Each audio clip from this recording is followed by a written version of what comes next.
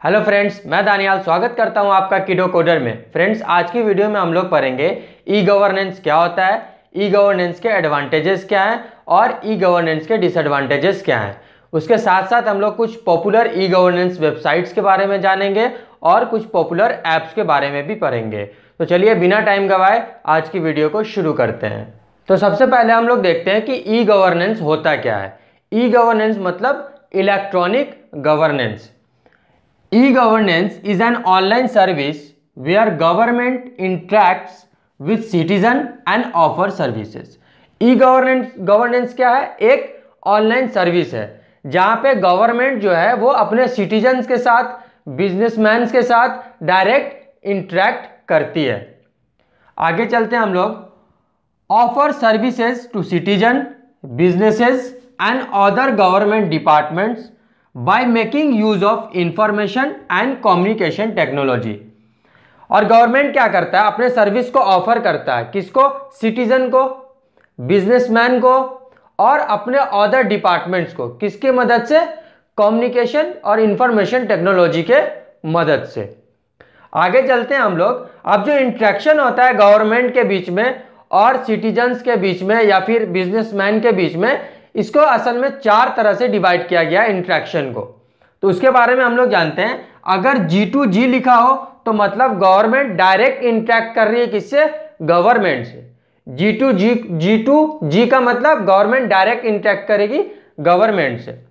अगर जी टू सी लिखा हुआ है तो गवर्नमेंट इंट्रैक्ट करेगी किससे? सिटीजन से। ठीक है? अगर जी टू बी लिखा हुआ है तो गवर्नमेंट इंट्रैक्ट करेगी किससे? बिजनेसमैन से। अगर जी टू ई लिखा हुआ है तो गवर्नमेंट किससे इंटरेक्ट करेगी? इंप्लॉय से। तो ये चार टाइप्स थे अब हम लोग देखते हैं कि एडवांटेजेस क्या है ई गवर्नेंस का। बहुत सारा एडवांटेजेस है, उसमें से मैं आपको कुछ मोस्ट इंपॉर्टेंट एडवांटेजेस बताऊँगा। सबसे पहला हमारा फास्टर कम्युनिकेशन ऑब्वियस ही बात है ऑनलाइन सर्विसेज़ में क्या होता है गवर्नमेंट के बीच में और बाकी जो हमारे सिटीजन्स हैं या बिजनेसमैन है, कोई भी हैं, उनके बीच में कम्युनिकेशन क्या हो जाता है, बहुत फास्ट हो जाता है। क्विक फीडबैक का सिस्टम होता है, अब ऑनलाइन सर्विसेज़ में क्या है आप तुरंत फीडबैक दे सकते हैं कि आपको जो सर्विस मिला वो आपको कैसा लगा। आप उसका रेटिंग दे सकते हैं, कितना रेटिंग दिए गुड था या एक्सीलेंट था या वेरी गुड था। तो आप वहाँ पे क्विक फीडबैक भी दे सकते हैं उस सर्विस के बारे में। उसके बाद है लाइव मॉनिटरिंग ऑफ़ प्रोसेस जो प्रोसेस आपका चल रहा है, आप कोई चीज़ के लिए अप्लाई किए, जैसे पैन कार्ड के लिए अप्लाई किए या ड्राइविंग लाइसेंस के लिए अप्लाई किए तो आप उसको लाइव मॉनिटर कर सकते हैं, आप देख सकते हैं कि आपका प्रोसेस कहाँ तक पहुँचा। उसके बाद क्या है? Better interaction of data and services data और सर्विसेज़ के बीच में इंट्रैक्शन बढ़िया होता है अच्छा होता है। उसके बाद क्या है? Minimum use of hard copy अब ऑनलाइन सर्विसेज़ में आप सारे डॉक्यूमेंट को स्कैन करके अपलोड कर देते हैं तो वहाँ पे आपको हार्ड कॉपी की ज़रूरत नहीं पड़ती है। मतलब आपको पेपर्स वगैरह की ज़रूरत नहीं पड़ती है, कम इस्तेमाल होता है। कॉस्ट इफ़ेक्टिव है, ऑनलाइन सर्विसेज़ में, ऑफलाइन से कम पैसा खर्च होता है, क्योंकि वहाँ पे दलाल वगैरह का जो पैसा होता है ऑफलाइन में, वो बच जाता है। आप किसी डीएल बनाने के लिए गए, अब वो आपसे चौदह हज़ार रुपया मांगने लगा। गवर्नमेंट आपसे आठ ही हज़ार रुपया अगर मान लीजिए मांग रही है तो वो छः हज़ार जो आपको ज़्यादा लग रहा है, वो आपको बीच में एक इंटरमीडिएट बंदा होता है, जिसको आम भाषा में क्या बोलते हैं, दलाल बोलते हैं। तो वो छः हज़ार रुपया खाता है। तो आपका क्या है, यहाँ पे कॉस्ट भी बचता है उसके बाद क्या आपका कोई भी सर्विस आपको आसानी से एक्सेसिबल है। इजी एक्सेस कर सकते हैं आप। कोई भी सर्विसेज़ को बड़ी आसानी से ई गवर्नमेंट के साइट से या एप्लीकेशन से आप एक्सेस कर सकते हैं।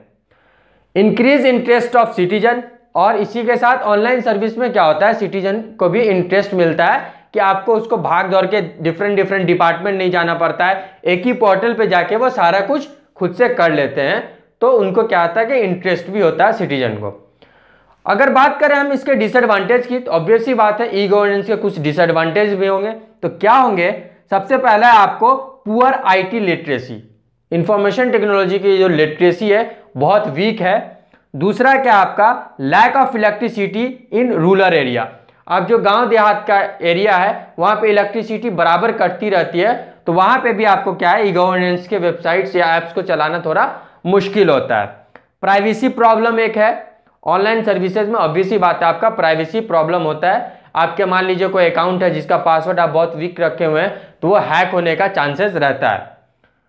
आगे चलते हैं। Lack of communication between different departments अब डिफरेंट डिफरेंट डिपार्टमेंट में क्या है? कम्युनिकेशन का भी लैक होता है। कम्युनिकेशन गैप होता है। एक दूसरे से जल्दी कम्युनिकेट नहीं कर पाते, उसमें भी आपको टाइम लगता है।